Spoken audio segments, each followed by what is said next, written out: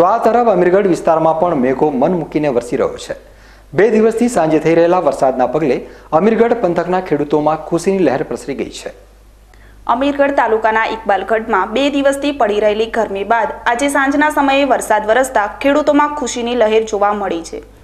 અષાઢ મહિનાના પંદર દિવસ કોરા નીકળતા ખેડૂતોમાં નિરાશા જોવા મળી હતી.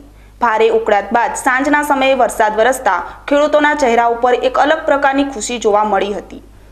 વરસાદ મન મૂકીને વરસતા ખેડૂતો ખુશખુશાલ જોવા મળ્યા હતા. બનાસકાંઠા જિલ્લાના અંતરિયાળ વિસ્તારોમાં ઘણા ખેડૂતો વરસાદી ખેતી ઉપર નિર્ભર છે. જોકે અમીરગઢ તાલુકાના ચૌદ જેટલા નાના મોટા ડેમો આવેલા છે અને અત્યારે આ ડેમની પરિસ્થિતિ જોતા ડેમોમાં પાણી નહિવત પ્રમાણમાં છે. બનાસકાંઠા જિલ્લાની જીવાદોરી સમાન બનાસ નદી પણ કોરી ધાકોર જોવા મળી રહી છે અને તેના લીધે ખેડૂતોમાં નિરાશા જોવા મળી હતી. છેલ્લા બે દિવસથી સાંજના સમયે આ વિસ્તારમાં થઈ રહેલા વરસાદને પગલે આદિવાસી વિસ્તારના ખેડૂતોમાં ખુશીની લહેર પ્રસરી ગઈ છે. અને ખેડૂતો પ્રાર્થના કરી રહ્યા છે કે આખા ચોમાસા દરમિયાન જો આ રીતે વરસાદ પડે તો આ વિસ્તારમાં આવેલા તમામ ડેમો ભરાઈ જશે.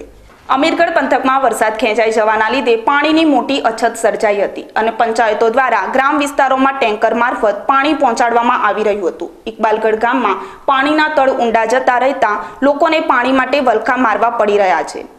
ત્યારે ઇકબાલગઢ ગ્રામ પંચાયતના સરપંચે પાણીની વૈકલ્પિક વ્યવસ્થાના ભાગરૂપે ચામુંડા ચોક વિસ્તારમાં કૂવામાંથી જેસીબીના માધ્યમથી પીવાના પાણીની પાઇપલાઇન મુકાવીને લોકોની સમસ્યાનું નિરાકરણ લાવ્યું હતું. પરંતુ બે દિવસથી પડી રહેલા વરસાદથી લોકોમાં ફરી આશા વ્યક્ત થઈ છે કે આ વર્ષે વર્ષ સારું નીવડે. આ હમણાં છેલ્લા બે દાડાથી હારામાં હારો વરસાદ થાય છે. હોદનો ટાઈમ થાય અને કુદરતી વરસાદ થાય છે. અને આ વરસાદ એવો હતો, આજ તો વળી એવો પડ્યો છે, વાવાઝોડા હાથે કે આ વરસાદને જોતા મને એમ લાગે કે વર હલકે સારું જાય. પણ આવો પડે તો બાકી હજી સુધી આમાં એવું દેખાતું નથી કે વરસાદ છે કે ઘણા સમયથી તણોનો છે લોબો વરસાદ.